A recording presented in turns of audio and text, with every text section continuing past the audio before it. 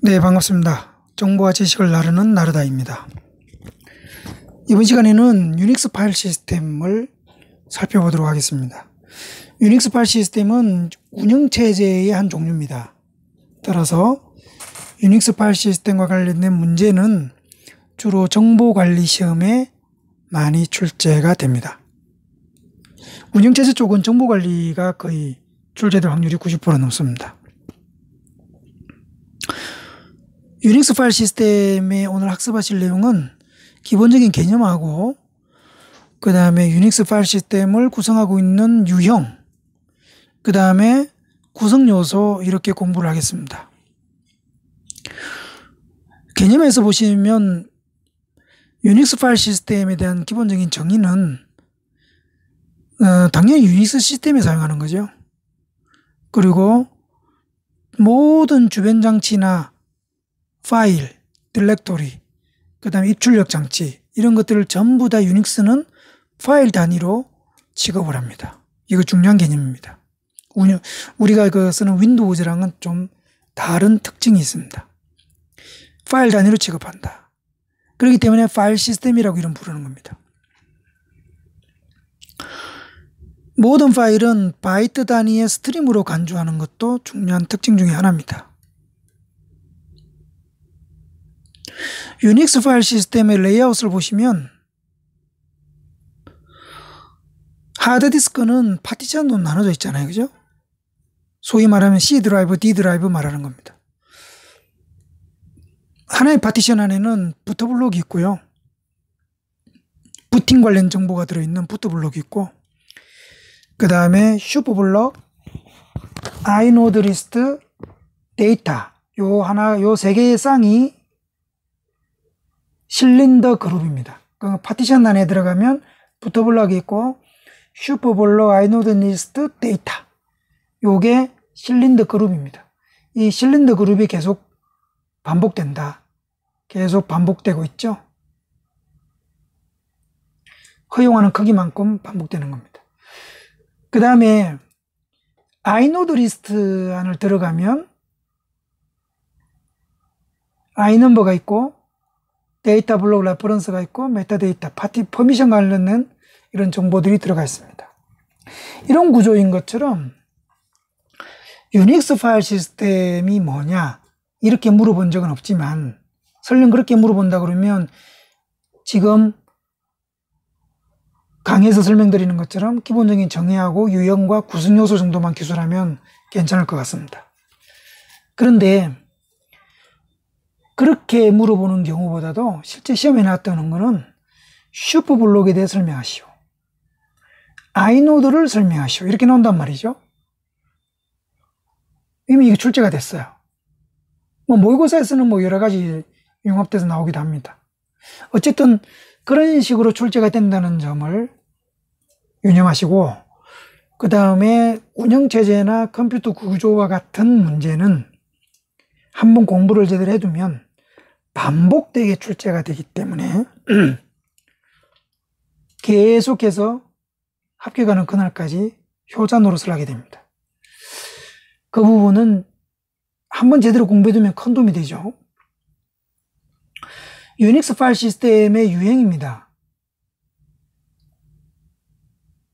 유형을 보시면 어, ordinary 파일이 있고요. 그 다음에 디렉토리 파일이 있고 special 파일이 있습니다. ordinary 파일은 시스템 프로그램, 유틸리티 같은 거, 그 다음에 사용자 프로그램, 그 일반 document 파일, 이런 일반 파일을 통칭해서 ordinary 파일이라고 합니다.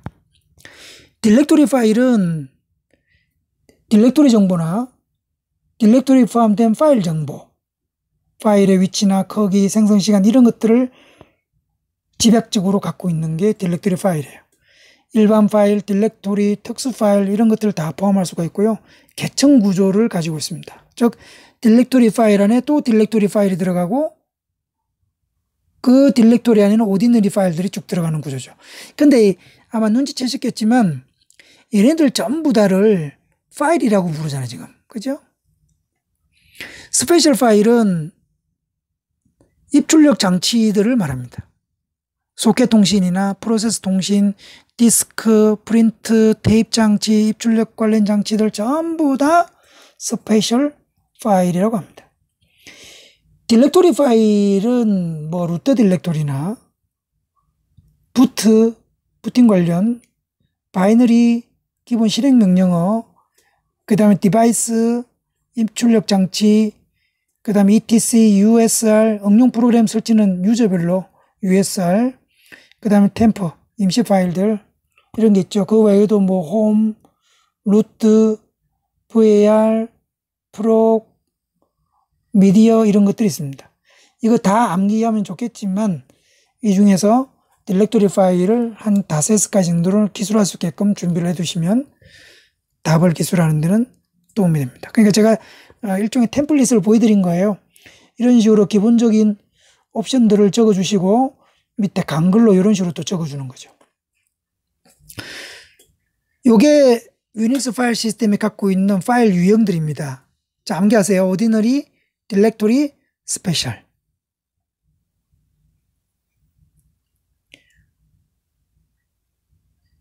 그 다음에 유닉스 시스템, 유닉스 파일 시스템이 갖고 있는 구성 요소가 되겠습니다. 네 개입니다. boot, super, inode, 데이터 블록.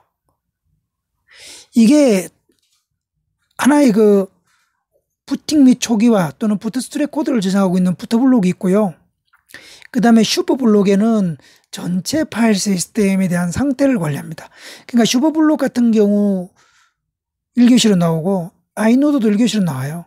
inode는 제가 별도 강의에 다시 한 번 더 만들 겁니다. 그걸 보시면 될 것 같고 데이터 블록은 실제 파일에 관한 데이터가 저장된 거고요.